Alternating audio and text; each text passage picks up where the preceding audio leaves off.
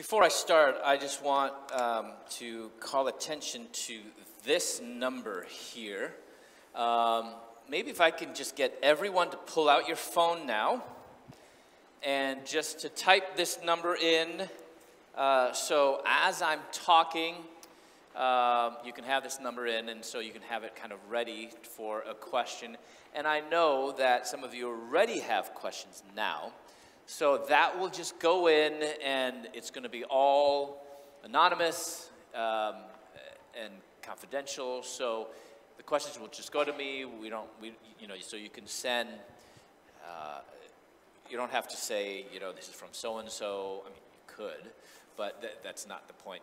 But um, if any of you, like now, even have a question, use this number uh, and type in that, uh, you know, put it in your phone, and, and then, but also type the question out. You can send that now.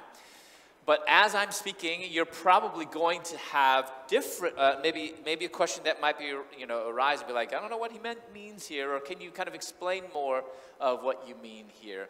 And so feel free to have your phones out. I know, probably maybe, uh, you know, are there rules in youth group like don't, you know, be playing with your phones during youth group? Is there? Yeah, no, that would be bad. So that's okay. I'm going to be like a rebel um, speaker and say that's okay to have your phones out so you can even have them on your. I mean, don't be playing games though on it. But have them out so that you can take your notes on it. You can actually be text, uh, texting in your question, and they're going to go uh, to someone who's going to be pulling these questions together. Okay, so got this number. Um, 269 626 2210. Good? All right.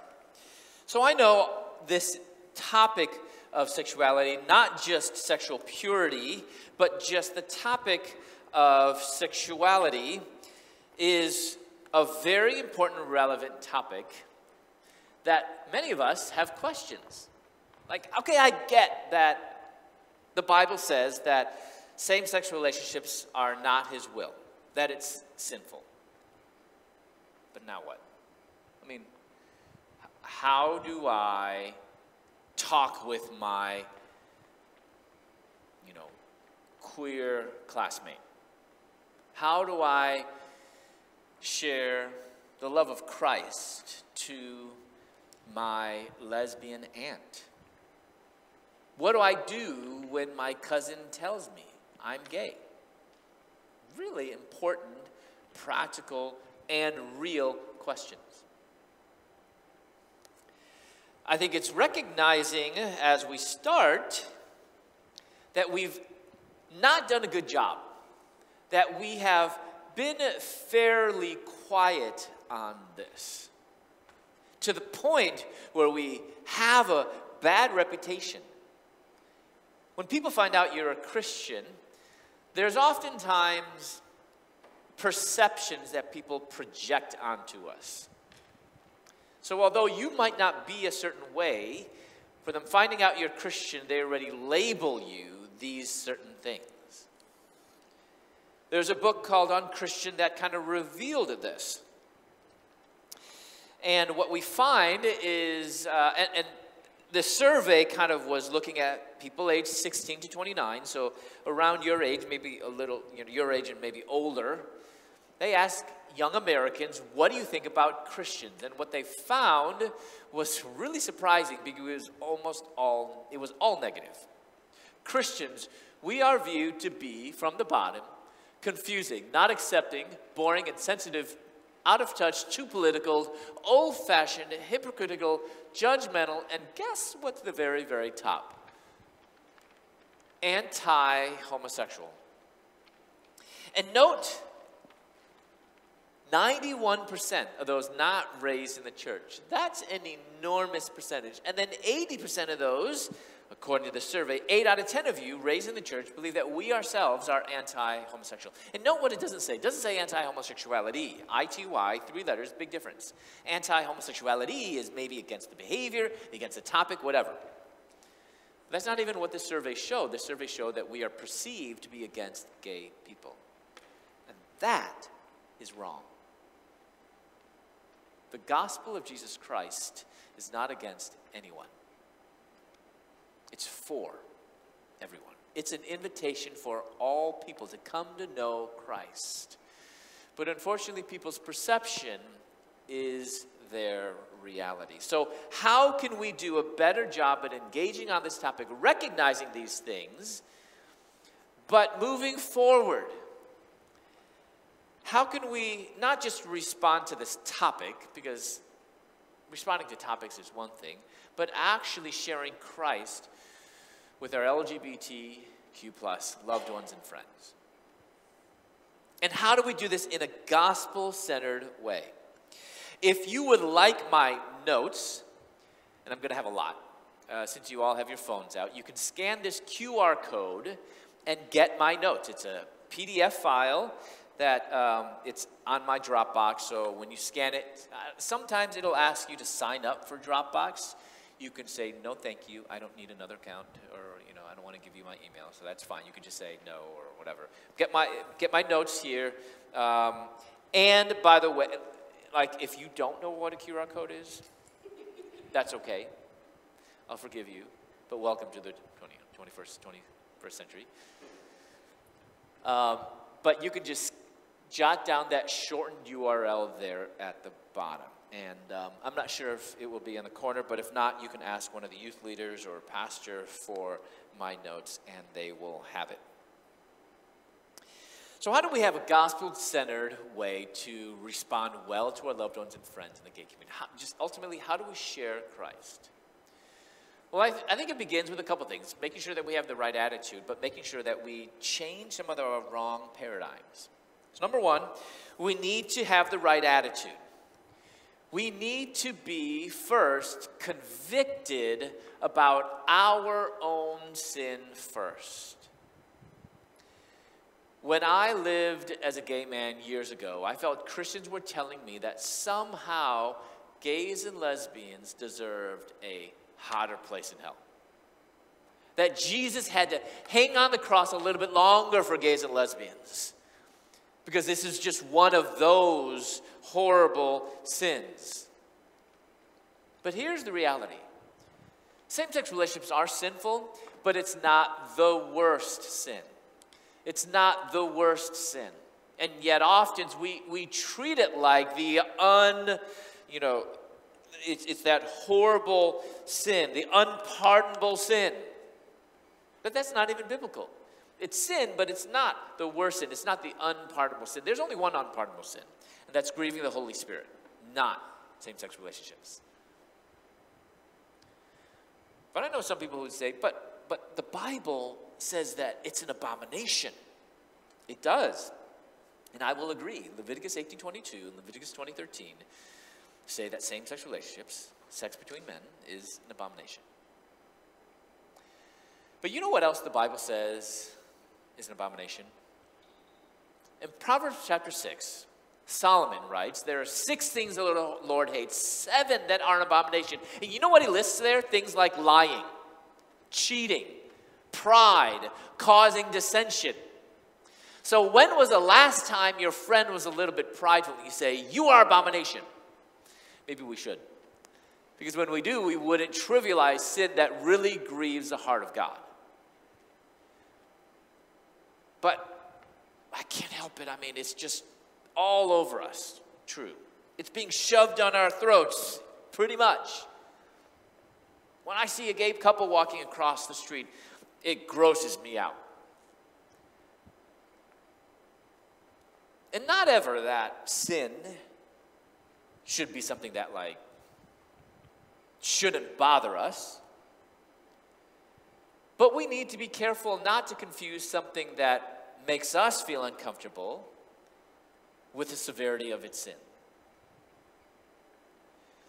Because I actually think that feeling of disgust we might have toward this sin or any other sin, someone else's sin, should in actuality be a reminder for us, not of, of repulsion of them, but a reminder that that feeling of disgust we have towards someone else's sin is actually just a fraction of what God feels when He looks at our own sin.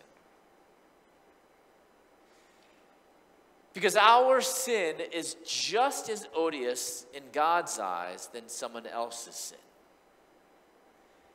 We should be just as grossed out about our own sin as we are of someone else's sin. But we're not. We justify our sin, don't we? And if we're really honest, we like our sin. I know that sounds weird from the pulpit that we say we like our sin, but I say that because we're sinners. We like our sin. Can you imagine if sin was like a bowl of, I don't know, what's like a bowl of boiled, mushy broccoli? I mean, I love broccoli, but that's because I don't, we don't cook it to death like Americans do. Like we stir fry it. Anyone have stir fried broccoli? Yum. I mean, that's. Mm. But like, you boil things to death. I'm like, everything's gone, like vitamins, all that. But like, let's just say, you know, sin was like that mushy, or I don't know, what, you know, um, uh, Brussels sprouts or something like that. I love Brussels sprouts too, but that's, you know, we stir fry that too, and that's really good too. But, or roasting them. Anyway, okay, no more food. But like, just think of like the, the food that you don't like, okay? and like say that that's sin. Like, here, you want a bowl of that? I mean, that's easy. Be like, no, thank you, right? I'm like, no, no, no, I don't want any. That's not what our sin is, is it? Our sin is like, you know, double chocolate cake or, you know, something. I don't even like chocolate anyway, but something that's really, really tempting and you're like, oh, I like, I want to jump in that. That's our sin. I have a friend, Rosaria Butterfield, writes on this, I mentioned to her. She jokes and says, if your sin don't feel good, you're doing it wrong. Like sin feels good. Let's just be honest. It feels good for the moment, but it leads to death. If sin didn't feel good, we wouldn't be tempted by it, right? Like be like, no, no, no, I don't want that. That's not temptation then. That'd be easy. Ah, I got this all day long. Sin is something that like pulls us. It's a hook. James talks about it. It's a net. You're hooked, and like you got, it's pulling you in because we like it. Our flesh loves it. That's why we don't, we're not disgusted about our own sin. We're disgusted about someone else's sin. Oh, that's so gross. Look at what she's doing. I would never do that. Well, of course you wouldn't because it's not your sin struggle. We don't say that about our own. Like, would it, we wish we really should say, that's so gross, my sin. Why do I do that? We, we do that in regret afterward, but when you're in it, we fall in it. We should and hope and pray we get to that point that we are disgusted about someone else's sin. So when we look at someone else's sin, at how gross and disgusting and awful that is, let that be a mirror to how gross and disgusting our sin is actually to God. But He's still patient with us. And He still loves us in spite of that. Because at the end of the day, let, let me tell you what my hope is that people would follow Jesus. It's as simple as that. But that's never done through a holier than thou attitude. You know, have you ever met anyone who came to Christ through someone who's really prideful? You know, oh, I came to Jesus. This, this lady shared me the gospel, and she was so pompous. Have you heard that before? I've never, ever. You know, she was so prideful. She was so holier than thou. No. It's people who are patient, compassionate, loving. They're real about their own weaknesses and shortcomings, that's what draws people, not holier than thou attitude. So, number one, let's be convicted about our own sin, recognizing that our sin is just as gross, just as odious in God's eyes than someone else's sin, and that ultimately leads to humility. I think humility is a great place to start. Number two, we need to be consistent. And this is consistent in three different ways. Because I think what I'm talking about consistent is we've, we've had some wrong thinking, some wrong paradigms that need to be corrected because we have, been, we have not been consistent with the Word of God. And one of those is regarding relationships. What is your relationship status? Are you married or are you single? And I mean, this is for you, so all of you guys are not married. That would be weird, right? But you know what's kind of weird is you go back many, many, many years ago, people your age were already married, like crazy, right? Well, I mean, but it was also because people died uh, sooner, so maybe it's good and bad. Um, but all of you guys are single now, not married. But what you find is you go off to college, and after that, and you're, if you're continuing in the body of Christ, you'll find how there's a lot of community for people who are married. And that's great. But there's a deficiency in ministering to people who are not married. Because there's this perception that marriage is where it's all at. But singleness, not so much. I mean, marriage is important, but we have created this imbalance between marriage and singleness where marriage is really good and singleness is not so good. You might think, I see that, but what does this have to do with my gay neighbor? Almost everything. Because if our hope is that they would follow Jesus, which means that as they follow Jesus and as Jesus sanctifies them, they will no longer sin and be in a same sex relationship. Well, practically speaking, that means they won't be in a relationship for a period of time, maybe even a longer period of time. And if so, do we have a healthy place for singles to thrive in Christian community today? Not so much. We are lacking when it comes to how to best minister to single adults. What I hear a lot from youth, high school, and college kids, and why so many are leaving the faith, it's often on this issue of sexuality. I just don't get it. And it not only is on this issue of sexuality, but it's because it's unfair. What's unfair? For them not to be able to be in a relationship, for, for them not to experience love. As if marriage was the only context for love. Kids, this is a very important lesson here. Marriage does not have a monopoly on love. Marriage does not have a monopoly on love, meaning it's not marriage is not the only place where love occurs. The Bible actually helps us to see that actually love can occur outside of marriage. And I argue that as much as we are pegged to be narrow minded, when it comes to love, Christians have the most broad understanding of love. It's the world that has a narrow minded view of love because they believe that only the most intimate, deep form of love occurs in marriage. You know the chapter on love? What, what chapter is that in the Bible? Anyone know? 1 Corinthians 13.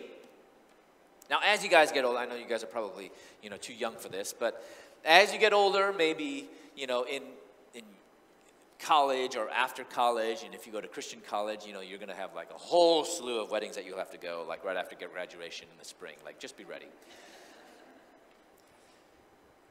A lot of times they will read from 1 Corinthians 13 love is patient, love is kind, etc. I mean, it's a beautiful passage.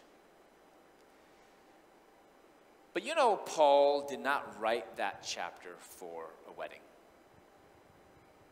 He didn't even write that specifically for how a husband should love his wife. I mean, should a husband lo- love his wife and a wife love her husband in that way? Of course. But that wasn't Paul's immediate context. He was writing that to the church. How we are called to love one another as brothers and sisters in Christ. So we have this, this lacking of, of how to minister to singleness, where according to the way that the census is going now here in America, there is going to be very soon, and I don't even, I, don't, I haven't looked all, I mean, we don't have the numbers yet from 2020, but I bet that the, this census, and I mean, all the numbers are messed up because of COVID, but I believe that we're following the trend from Europe and Canada that there are more single adults, we're not including youth like you, there are more single adults here in America than they are married adults. Does that demographic match the church? I mean, of course, there's reason for that because many singles are cohabitating, they're not getting married, they're being sexually active, that, and so of course we're not, you know, want that in the church, but couldn't we be missing a huge demographic simply by the way that we do church? Where singleness is viewed to be unfair. It's unfair for God to demand someone to be single because that's the only way to be happy is to be married. And single means you're going to be lonely. As a matter of fact, the Supreme Court decision that legalized same sex marriage in June of 2015, we call that the Obergefell decision. The majority opinion was written by Justice Kennedy, and he actually wrote in his majority opinion, he said, that to deny anyone marriage would be to relegate them to a life of loneliness. Can you believe that? Being single means you will be lonely. But singleness is not equivalent to loneliness. I mean, well, that's what my, many of my gay friends say. What you want me to be is lonely for the rest of my life. But singleness is not equivalent to loneliness. You know why I can say that? Because I know some people who are married and they're still miserably lonely. So, marriage is not the cure to loneliness. You know what's the cure to loneliness? It begins with a relationship with God. that is the cure to loneliness, not another person. But, some, but that is how we treat, that is how we treat singleness and marriage. Marriage is this pie in the sky happiness. You know, when, when you guys were younger, kids, you remember when people re- would read you fairy tales? Remember that? How do all fairy tales end?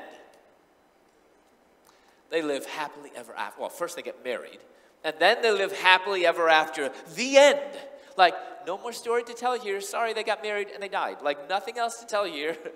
like, what are we communicating to your kid, to our kids? What have we been communicating to you? That this is the goal in life. You get married, and then that's it no 10 year checkup, no 20 year checkup. Hopefully, they're still living happily ever after. But the real lesson is it is not Jesus, it is not marriage that should bring you ultimate contentment.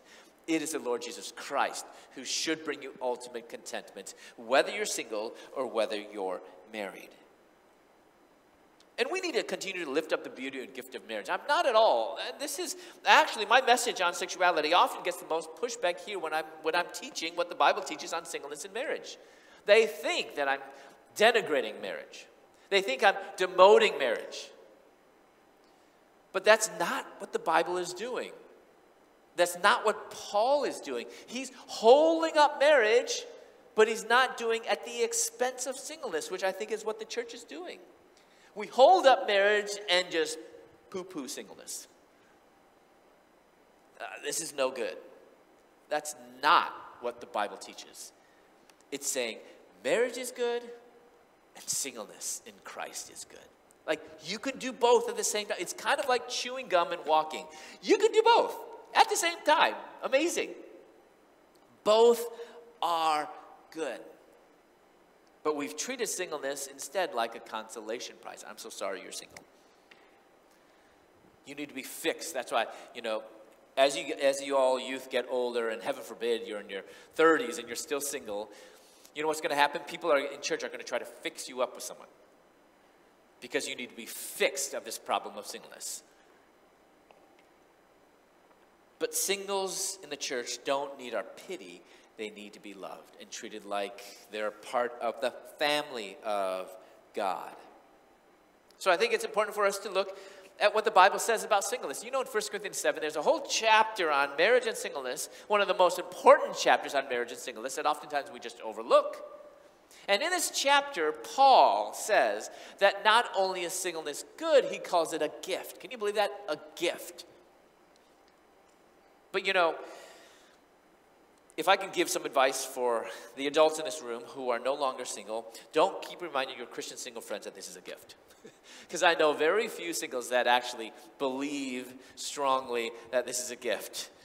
It's usually the opposite. Like, I have no idea what Paul is talking about here. This is a gift because it don't feel like a gift. Like, I've yet to meet any Christian single who've made 1 Corinthians 7 7 their life first. You know, sincerely, 1 Corinthians 7 7. Woo-hoo. It's, I don't know why Paul says that. It don't feel like it because singleness is not easy. It's difficult. But from what I hear as a single man, marriage at times can be difficult and it can be hard but there's huge blessings that come with being married. In the same way, singleness has its difficulties, but there's also blessings that come with it. But why is it that we only focus on the enormous blessings of marriage and the enormous challenges of singleness? See how this is starkly inconsistent and unbiblical? We can all agree that marriage is a gift. Hallelujah. When it comes to singleness, we don't wholeheartedly agree that singleness is a gift. Instead, you know what we often say? We say singleness, it's a calling. you know, not anyone can be single. You have to like really, really pray and fast that God's calling you to singleness because it's so hard. But we don't say the same thing about marriage. Sometimes I think in our push to get people married, we are actually not sanctifying marriage, but we are trivializing it. If marriage truly is this holy, amazing union of two people coming together as one, let's treat it in that way. That this is a holy, serious union that we shouldn't take lightly. But sometimes we do. I remember I was at church one time and I'm kind of a front row kind of person. My parents and I are, because I mean, I, I kind of, I don't know this is before like ADHD was, you know, I, I think that's what, I, if I was living now, I would definitely be like, you know, diagnosed as ADHD. I'm just like a, you know, squirrel, you know. So I, have got to stay in the front row to, you know, get my blinders on. Um, but we got there early and there was like some, people were gathering in the back and talking and there's, I, I heard, you, you know how you like try to pretend you're not eavesdropping, but you really are? So I was listening and, uh, and, and you know, they're talking about, oh, you know, you know, I just met this one girl, and you know, and they're like, oh my goodness, congratulations. And I'm thinking, he hasn't done anything. Like he still don't have a job, you know, he's still living at home, don't have a car, none of that. But congratulations, you know, you met someone. Like not what's her name? Is she following Jesus? And you know, is this God's will? Like none of that. But just say, oh, I'm so happy for you like i just wonder if we actually like really seriously challenge people. I mean i think it's as a good friend we should be the ones that say is this god's will? Or are you just following your heart? Because if you're following your heart let's pray about this. If you are going after her because she's just a pretty face is she loving jesus? You know i'm open to getting married but I, I follow my example is from this missionary lady that I don't even know who said this quote, but she was a, mission, a single missionary all her life. And, and people would all ask her, Don't you want to get married? And she kind of got tired of people asking anymore. And what she said was so profound. She said, I want my life to be so hid in Christ that for a man to find me, he must find Christ first. That's what I want. I'm open to getting married, but I'm not on the hunt. You know how some people are on the hunt, and that's just not pretty. I'm, I'm open to it, but I want God to, I mean, if I want my life to be so hid in Christ that for a lady to find me, she must find Christ first. That's holding up the sanctity of marriage. You know, marriage is my my my, my, all my Christian friends are married, and they tell me marriage takes work. It's not easy. It's loving yourself, by the way, it's hard. Loving unconditionally, it's difficult. But then we see, even, even Paul, Ephesians 5 says, Husbands, lay your life down for your wives. So, young men, pay attention. When marriage, lay your life down for your wife. Amen, ladies? So that's, that's a really high, nearly impossible calling. So, do you know what I say tongue in cheek? I say marriage. Whew, that's a calling, seriously. Singleness, that's a gift. I don't have to lay my life down for any, anyone yet. But I'm not at all saying that marriage is not as good as singleness. I'm simply looking at the full counsel of God and recognizing this truth that godly marriage and godly singleness are two sides of the same coin. We should only we should no longer only emphasize one go over against the other because I don't think we're ready to address sexuality until we first redeem singleness. Second, we need to be consistent regarding sexuality. What is God's standard? And I touched on this in my testimony. Is heterosexuality the goal? That seems to be what it is. Isn't that what the Bible promotes? You know, that the Bible, you know, we see in Genesis that God made Adam and Eve, not Adam and Steve. So we see, I mean, isn't that then the standard heterosexuality? But let's think about this. If heterosexuality was the goal, that means being attracted to the opposite sex, being sexually intimate with someone of the opposite sex. That's pretty broad, so broad that I could be sleeping with half a dozen women, and that's considered heterosexual and even natural. I could be a married man and I'm cheating on my wife with another woman. That's also heterosexual. I could be an unmarried man living with my girlfriend in a monogamous relationship, but we're not married. We even have a couple children together. That's also considered heterosexual. Those three scenarios that I just gave you are all sinful in God's eyes. Heterosexuality might be the correct direction, but it's way too broad. It's trying to use a, a, a, you know, a shotgun when we need a laser. So, what then is it? If heterosexuality is too broad, then what is it? Not heterosexuality, not homosexuality. That's a wrong paradigm. I think we need to set that aside. I think those terms should, shouldn't even really be terms that we use anymore because that's not even the right playing field. It's not the right court. We need to use the correct framework, and it's a biblical one. Heterosexuality and homosexuality is a secular framework, secular vocabulary. The correct one is holiness. Not heterosexuality, not homosexuality, but holy sexuality. What is holy sexuality? When you are single, which all you youth are now, how are you going to live? You're going to be sexually absent. Then the other path is when you are married. Biblically married, in the way that the Bible defines it, one man, one woman, you're going to be faithful to your spouse of the opposite sex. So, holy sexuality is this chastity and singleness or faithfulness in marriage. Chastity and singleness or faithfulness in marriage. And what I realized was there was no one term to include both of those, so I created a term. The concept is not new, the term is holy sexuality. And what I like about this term is this applies to every human being, whether you're man or woman, young or old, opposite sex attractions, same sex attractions, we all need to pursue holiness. See, heterosexuality actually should never define a person, as I said in the first hour. It's, it shouldn't, we shouldn't say this is a heterosexual person, it defines our feelings, our attractions, and our behaviors. Big difference. So we need to consider regarding sexuality, uh, uh, um, relationship, sexuality, and lastly, change. Does change mean going to gay from gay to straight? No. How about that you no longer have these attractions or temptations? Well, if we have that same standard, do we apply that to any other sin struggle? Say I have a friend who was a drunk, comes to Christ, stops drinking, but he admits he still has an urge to drink, but he doesn't. Would we tell him you haven't been changed? We need to lay some hands on you. You need some deliverance. No, because the manifestation of God's grace is more evident in his, life because he says no to his flesh and says yes to God.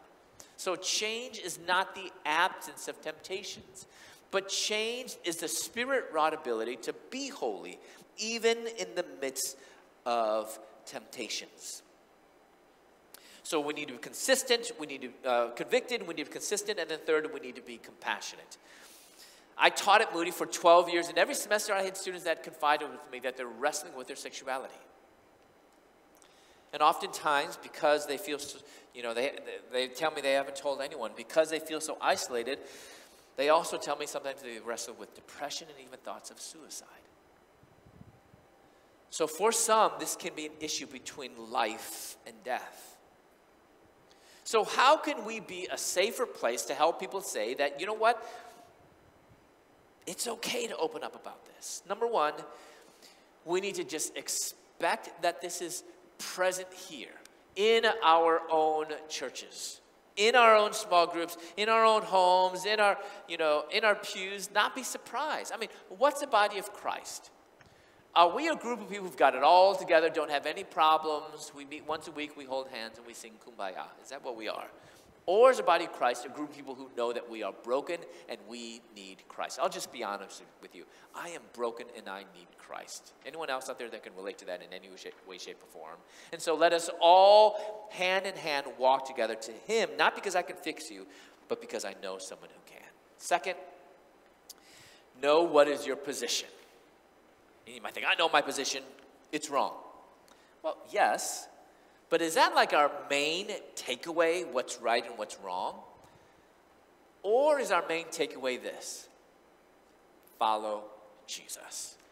How in the world can you say no to sin if you don't have Christ living in you? You can't. So, number one thing, our main takeaway when we talk about anything should be follow Jesus. You can't fix someone up and then bring them to Christ. You can't help someone say no to your sin or even know that you're living in sin without them coming to Christ. Third, maybe you're here because you have a friend, or maybe you're thinking right now, be like, man, I've always wondered whether this person, or you know, my good friend, wrestles with their sexuality. I've kind of thought it, about it in the back of my mind, and how do I bring it up to let them know I'm there for them so I can walk with them? Don't.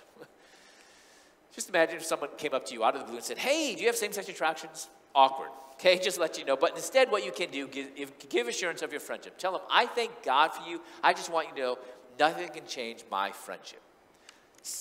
Fourth, let's be a group of people who say no to the gay jokes and the bullying. I think this is important for us as youth. There's no place in the Christian life to make fun of anyone, ever. So, can we agree to that, guys? Guys and gals, no more. Like, I mean, it might seem funny for a moment, but you never know when someone might ha- even have a cousin or whatever that has a loved one who they're praying for. And when we make fun of them, that's make, making fun of their cousin, their aunt. So instead of saying that's so gay, I it can, you know, you know, that shirt is so gay. You know, a shirt cannot be gay. Clothing do not have sexualities. It's not a real thing. Let's be more crit like, okay, here's a novel idea. Expand your vocabulary. Like, what an idea. Like, learn new words. You know, instead of saying that's so gay, how about that's a Presbyterian or that's a Baptist or that's a, you know, whatever. You fill in the blank. Something really creative there. I'm sure you can think of something good. So we need to be convicted, consistent, compassionate. Fourth, we need to be complete. And this is complete in our message. We focus upon God's truth because it's a truth that sets us free. So the question is, well, what is God's truth when it comes to this? Oh, I got this. It's a sin. Anything more? No, that's it. It's a sin. When that's all we say, that's equivalent to giving someone a one spiritual law tract. You guys remember the four spiritual laws? This is not the four spiritual laws, but the one spiritual law that goes something like this You're a sinner and you're going to hell. Sorry. In case you didn't know, that's not good news at all. That's bad news only. But if you think about it, that's all we've been telling the gay community. That's all we've been telling them. You're a sinner, you're going to hell, there's no hope for you. No wonder why the gay community want nothing to do with us. No wonder why people in your school want nothing to do with you as a Christian, because our message to them has only been bad news. There's nothing good about it. We've been only telling them the incomplete truth, not the complete truth. And you know when you tell someone an incomplete truth, that's just as harmful as telling someone a lie. So, what is the complete truth? In 1 Corinthians 6, Paul says, Do you not know that the unrighteous will not inherit the kingdom of God? And then he lists uh, uh, 10 sins. And in this list of 10 sins are two Greek words that focus upon homosexual behavior. That sometimes people look at all these verses and say, Look, gays and lesbians won't inherit the kingdom of God but they conveniently forget about the eight other sins. Because if we look at all 10 sins, none of us should inherit the kingdom of God. But Paul didn't stop there. He says in one of my favorite verses in the whole Bible, 1 Corinthians chapter 6, verse 11, where he says, Such were. What tense is that verb? Past tense. Such were some of who? You. But you were washed. You were sanctified. You were justified in the name of Lord Jesus Christ and the Spirit of our God. You know that verse actually is not good news?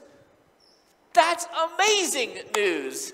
That's news that we can tell anyone who needs to know about Jesus Christ that you can have, you can be redeemed, you can be justified in the name of Jesus Christ. So our message has to be redemptive. If you're not sharing the good news with someone, there's no hope in that. Our friends in the gay community, their main issue is not sexuality, but their main issue is to follow Christ. My biggest sin was not same sex relationships, but my biggest sin was unbelief. So I'm going to kind of uh, go through some really, really practical things here at the end uh, because I'm really going over time. But how do we be redemptive? And I'm, I'm going to give you some tips on um, ministering to Christians who know this is sin and they have same sex attractions, and then sharing Christ with those in the gay community. What would you say, let's say after this weekend, after this workshop, next week, next month, next year, you have a good friend that confides with you? I have same sex attractions. What would you say you're due? Number one, thank them. Thank you for sharing this with me. It took a lot for you to be brave and courageous. It means a lot. Number two, tell them that, and of course, don't freak out. You can freak out in your inside voice, but don't freak out. Number two, tell them that you're not alone. Tell them, you know what? I'm a sinner just like you, and I need Jesus just like you do. Don't believe the lie that you are so strange or unique or this is a particular sin. This is just sin. And at the end of the day, we all need Christ together. And I have my own struggles, you have our, your own struggles. They might look different, but at the end of the day, it's sin and we need to pursue Christ together. Number three, and I touch on this uh, in the first talk, which is really important identity in Christ. Nothing can be, I think that's so key. Don't put your identity in your attractions. Don't make this who you are. None of you should even say, I'm a straight Christian. That's not who you are. And some of you young girls be like, well, I don't have sexual feelings. Does that make me asexual? No, that makes you a girl.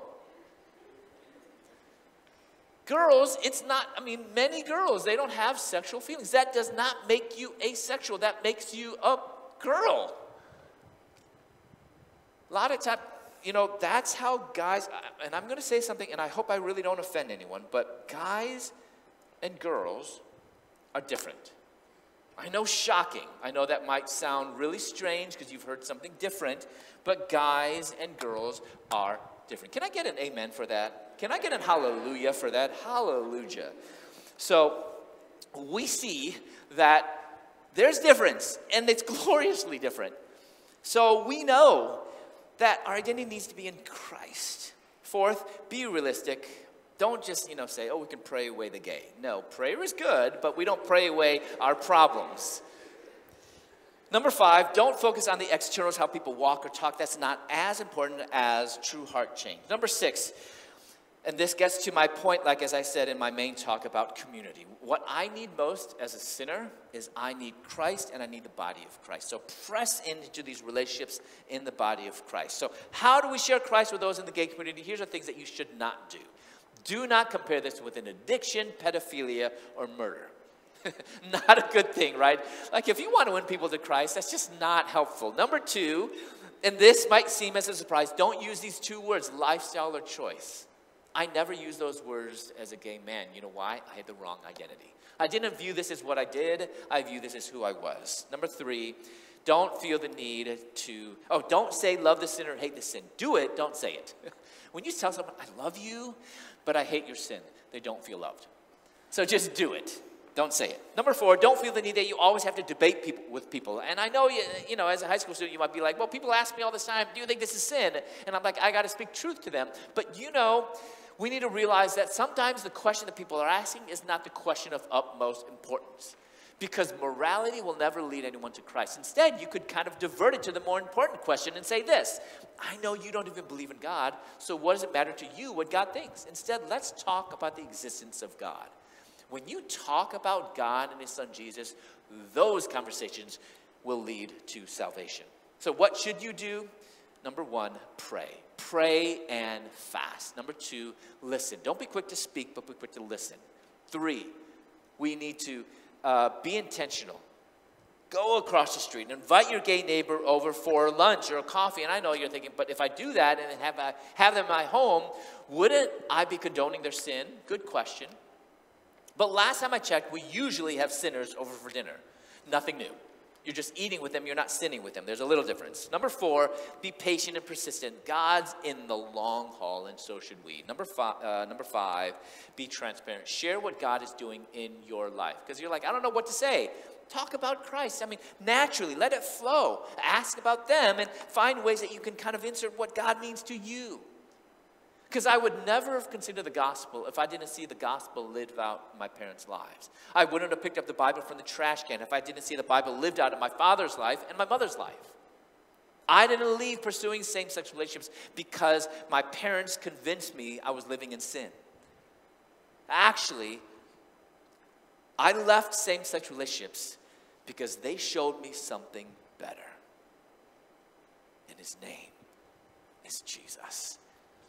Our job, my friends, is to show a dying world out there that no matter what they're clinging to, all the fools going in the world, not only is Jesus better, but following Jesus is best. Let's pray. Father, we thank you for your goodness. Lord, I pray that you would renew our minds, that we would remember that we need to put our identity in you. We need to put our faith in you. And as we live as Christians, put our identity in you. We love you, God, and we ask this in Jesus' name. And the people of God said.